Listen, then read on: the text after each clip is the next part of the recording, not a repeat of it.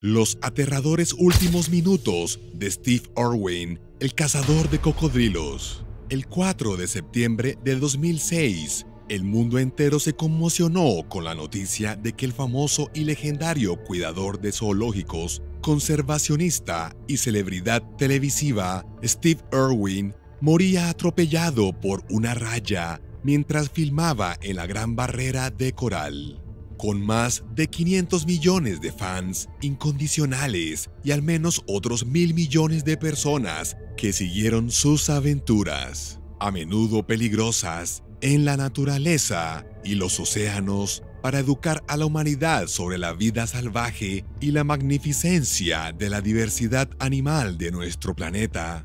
La muerte de Steve Irwin representa una pérdida masiva no solo para la humanidad, sino también para el reino animal y el planeta Tierra. ¿A quién no le gustaba? Nos hizo amar a los animales y la selva, y lo que es más importante, nos educó sobre el respeto a la naturaleza y el delicado equilibrio que debemos mantener para proteger nuestro planeta de la contaminación, el cambio climático y la deforestación. Además de promover con ahínco la conservación y el ecologismo, Steve Irwin fue también un gran artista y aventurero que contribuyó de más formas de las que podemos imaginar a acabar con el miedo de la gente a las criaturas más peligrosas que deambulan por la Tierra un miedo que históricamente llevó a la gente a sacrificar en masa especies enteras y a erradicar bosques enteros. Permanezca atento a nuestro detallado recorrido por la vida y la muerte de la leyenda Steve Irwin. Pero antes de seguir adelante, por favor, asegúrese de suscribirse al canal y pulse el icono de la campana. Steve Robert Irwin nació en Australia el 22 de febrero de 1962 y murió en un terrible incidente el 4 de septiembre de 2006. Conocido sobre todo como el cazador de cocodrilos, fue un dedicado cuidador de zoológicos, conservacionista, personalidad televisiva, educador sobre la vida salvaje y ecologista. Desde su más tierna infancia, su padre le enseñó sobre cocodrilos, todo tipo de reptiles y la vida salvaje en general. De 1996 a 2007, su programa de televisión Cazador de Cocodrilos, la serie documental sobre la vida salvaje que copresentaba con su esposa Terry, fue seguido por cientos de millones de personas de todo el mundo. Él y su mujer también tuvieron otros programas de televisión de gran éxito, como las series Croc Files, The Crocodile Hunter Diaries y New Breed Beds. También son copropietarios y administradores del Zoo de Australia, fundado por los padres de Irwin en Birwa, a unos 80 kilómetros al norte de Brisbane, la capital del estado de Queensland. También tienen dos hijos, Bindi y Robert. Tras su muerte, numerosos parques, zoológicos y calles de todo el mundo recibieron su nombre. Incluso una especie de caracol y un asteroide han sido bautizados en su honor. A día de hoy, la familia Irwin sigue gestionando el Zoo de Australia que se puede visitar todo el año.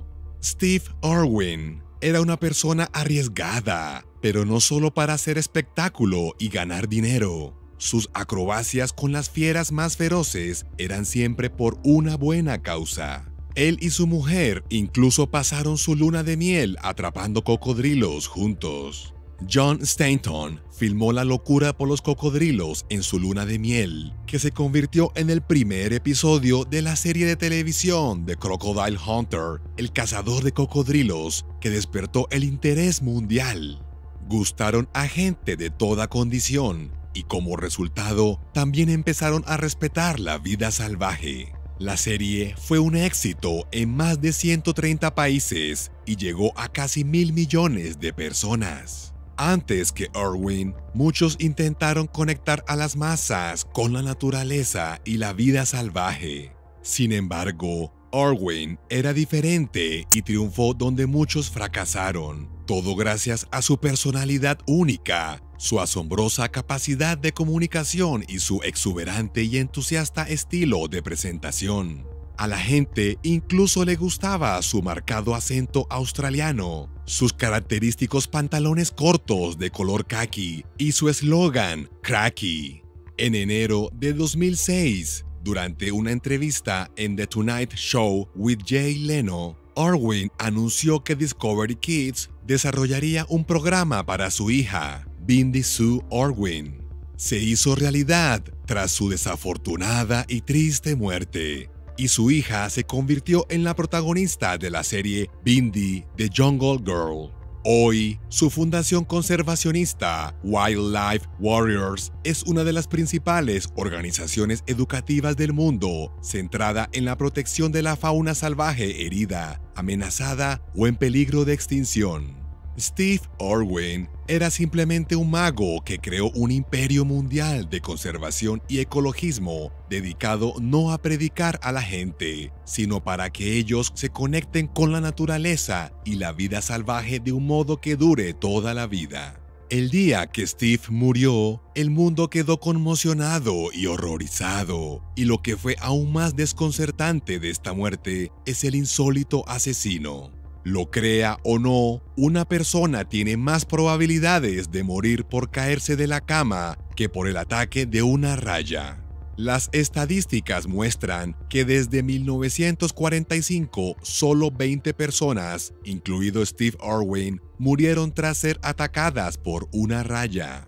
Las rayas son un tipo de pez, aunque sus cuerpos anchos y planos sugieren que no son ni remotamente peces. Los océanos están llenos de misteriosas criaturas de aspecto extraño que parecen más extraterrestres y de otro mundo que peces. Sorprendentemente, las rayas están emparentadas con los tiburones y al igual que estos, no tienen huesos. Su cuerpo está sostenido por cartílagos, el mismo material que se siente en la punta de la nariz. Son carnívoros que pueden vivir hasta 25 años, medir hasta 2 metros de ancho y pesar la asombrosa cifra de 800 kilos. Su inmensa anchura les da un aspecto redondeado y bastante plano. Utilizan la cola para defenderse. Algunas rayas tienen una espina en la cola con una punta muy afilada y bordes dentados. Este es el tipo de raya que apuñaló a Steve Irwin en el corazón. Las mantarrayas rara vez atacan a las personas. Sin embargo, un buceador desprevenido podría ser confundido por una de estas criaturas marinas de aspecto alienígena con un tiburón y ser atacado. Esto es probablemente lo que le ocurrió al cazador de cocodrilos, Steve. El desafortunado día de su muerte, Orwin estaba buceando para su nuevo programa, Ocean's Deadliest. Él y su equipo ni siquiera estaban buscando mantarrayas, y en realidad intentaban rastrear a un mortífero tiburón tigre frente al arrecife Bat, cerca de Port Douglas. Tras fracasar en el intento, Orwin se centró en una gran raya de un metro con 80 para un proyecto aparte para el espectáculo de su hija Bindi, la chica de la selva. El agua era poco profunda y para él era una buena oportunidad, ya que solo tendría que bucear y hacer algunos trucos. Nadó por encima de la raya, por lo general dócil e inofensiva, antes de que ésta le proyectara de repente en el pecho una de sus tres espinas dorsales venenosas de la cola. Como un cuchillo afilado y caliente cortando mantequilla, la púa de la raya penetró en su pecho y en su corazón de un golpe rápido y repentino mientras seguía su camino como si nada. Steve Subió inmediatamente a la superficie y dijo a su tripulación, presa del pánico, La raya me ha perforado el pulmón. Los tripulantes lo subieron inmediatamente a la embarcación y empezaron a practicarle la reanimación cardiopulmonar mientras el capitán se dirigía a tierra. Mientras la tripulación intentaba detener la hemorragia, empezaron a decirle, Aguanta, Steve. Piensa en tus hijos. aguanta. Pero la vida se le iba muy deprisa, y entonces los miró tranquilamente y dijo sus últimas palabras. Me estoy muriendo.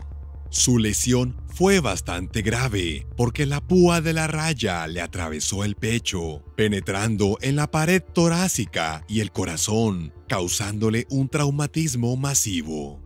Según los expertos, el hecho de que se acercara a la enorme raya por detrás y estuviera justo encima de su retaguardia cuando lo golpeó, solo significaba una cosa, no lo vio y probablemente confundió su sombra con la de un tiburón. La zona también es conocida por los interminables ataques de tiburones a rayas, y lo más probable es que la raya culpable estuviera en alerta máxima y preparada para defenderse de un ataque de tiburón. Hay que tener en cuenta que estas criaturas casi nunca matan a las personas, y si la raya lo hubiera visto claramente aquel día, no lo habría atacado. La muerte de Orwin es la única víctima mortal de una raya captada en video, aunque no se ha hecho público a petición de su familia. Solo los investigadores han podido ver el video para concluir su investigación.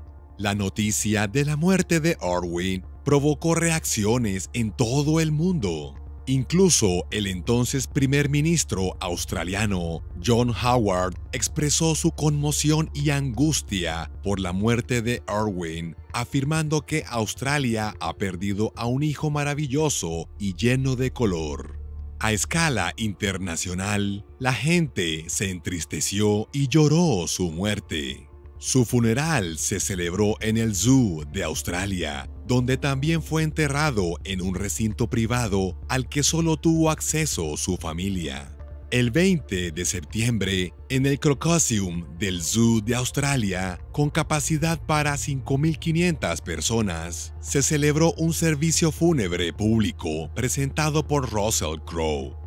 Este servicio se retransmitió en directo a todo el mundo y se calcula que fue visto por más de 300 millones de espectadores en todo el mundo. Algunas personas se entristecieron tanto por su muerte que mataron rayas al azar, lo que llevó a la hija de Steve Irwin a decir durante una entrevista con Larry King que ama a las rayas y no siente rencor hacia ellas. ¿Conoces algún caso reciente de ataques mortales de animales salvajes en parques, zoológicos o safaris cercanos? Haznoslo saber en la sección de comentarios. ¿Te ha gustado este video? Estamos seguros de que sí, así que no dejes de suscribirte, dale me gusta y dale al botón de la campana, porque seguiremos subiendo más videos fantásticos.